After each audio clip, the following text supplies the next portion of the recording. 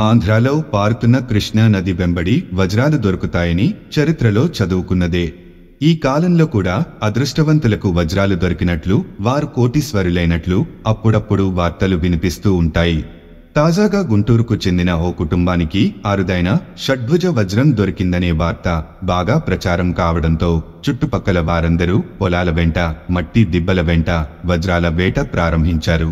ఎన్టీఆర్ జిల్లాలోని గుడిమెట్ల ప్రాంతంలో పెద్ద సంఖ్యలో ప్రజలు వజ్రాలు వెతుకుతున్నారు.